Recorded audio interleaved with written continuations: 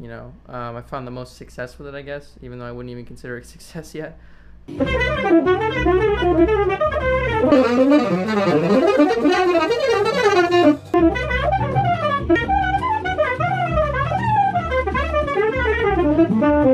Okay, so today's going to be kind of a shed uh, vlog video. I'm trying this new system out with my new like webcam and new computer setup and everything.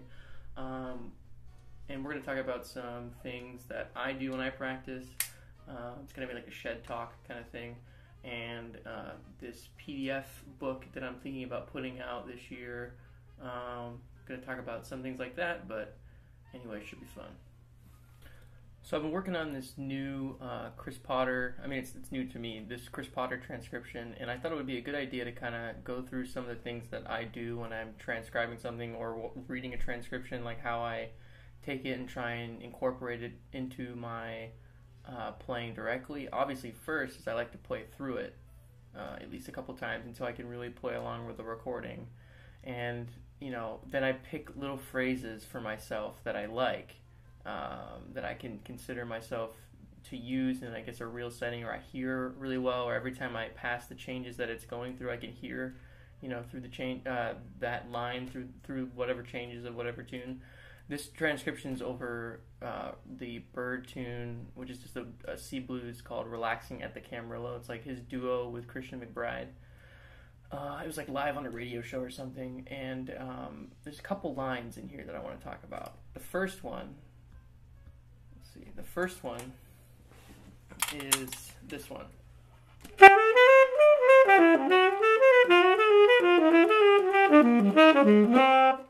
Right?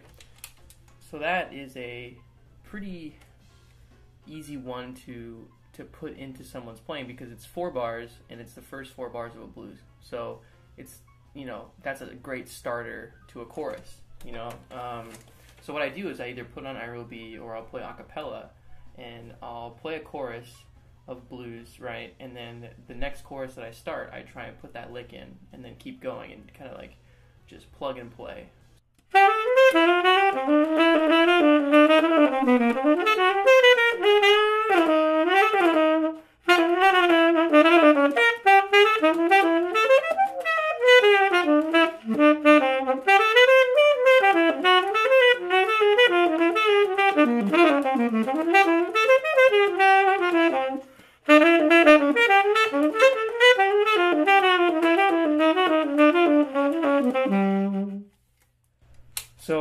trying to incorporate that lick, and it, you know, now that you hear it, it sounds very like plug and paste or plug and play or whatever, and that's fine. That's not really the idea of the exercise yet. I'm just trying to get it under my fingers and understand it and what's happening. It's based off of that lick.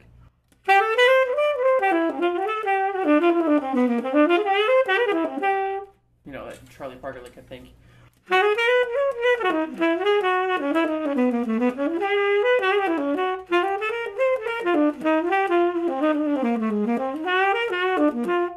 Instead, he takes it out.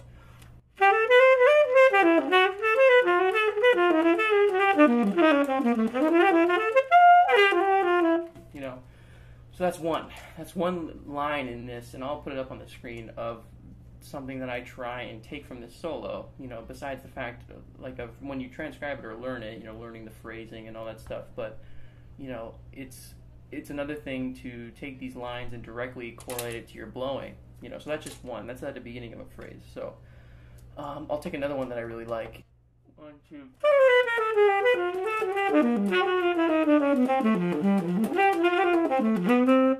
You know, that's a nice phrase. So then I try and play a blues, and I try and kind of incorporate these two into the same um, chorus, I guess. So I'll play one chorus of kind of my own thing, and then I'll play that first lick at the beginning, and then I'll try and incorporate some parts, if not the whole thing, of that second lick in the middle.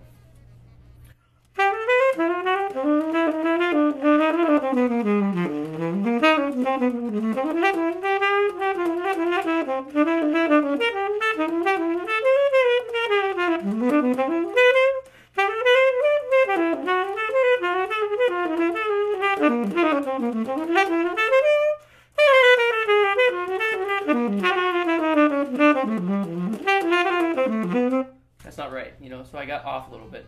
So this is usually where I bring iReal B into it.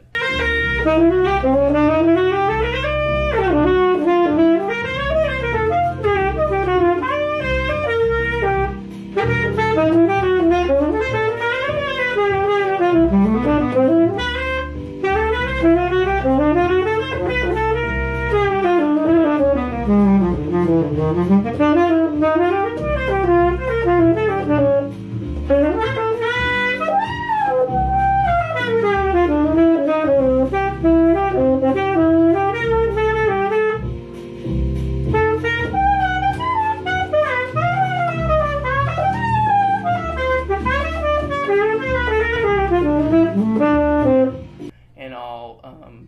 try and really make sure that the time is always there because I got off on the placement of that one thing, and I tried to get back on, but it just didn't work.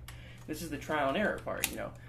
Um, you know, trying to find little filler phrases that will work in between these two that I'm trying to work into my playing. Um, so whether it's on the four chord, um, the second of you know.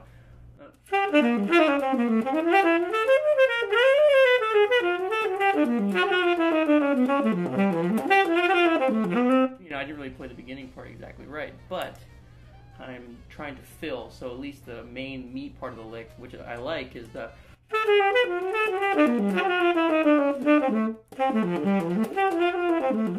part at the beginning, the. You know. You can change the beginning parts, you can change the ending parts. You know, I could take another lick like.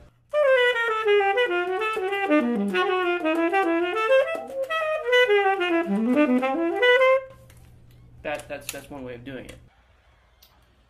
So this is this is future Ryan as I'm editing this video, and it's kind of be a little bit confusing, I think, because in my head I'm kind of you know looking at the chord changes that are going along to, to this lick. So when I'm saying like I can start it differently or end it differently, I'm taking phrases that I've learned from those uh, chord changes that the lick's on. So this is that that lick that I was just working on the that one. That's uh, going to it's like starting on the last bar of the four chords, my G7, right? Um, and so it's starting on the last two beats of the four chord, going back to the one, and then the three six to the two five one, right? So it's like the last like seven and a half bars and uh, this can be kind of confusing because I, I, didn't really explain it right, but I'm taking parts of this lick and then trying to manipulate it to where I can use some of the other things that I already have under my fingers and make my own lick. Is what I'm trying to say. It didn't really come out that way, so I just wanted to kind of clarify it. Anyway, back to the video. So this is the this is the process, and I'll insert clips of me playing with iReal B and stuff. I do this over blueses and rhythm changes the most because you know everybody has transcriptions and solos of blues and rhythm changes, and that's the easiest way to put them in 12 keys, you know, is through this kind of format, or applying these to different tunes. I also do this for altissimo licks. Excuse me, and there's a couple good ones in here.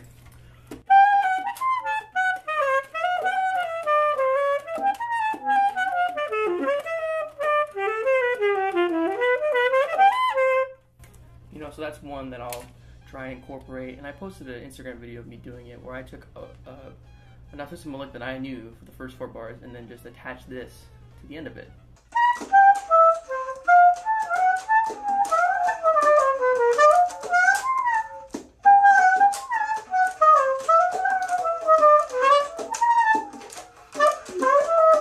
And this is this is the way I basically transcribe. I write etudes for myself based on the solo that I've learned or am learning at the same time.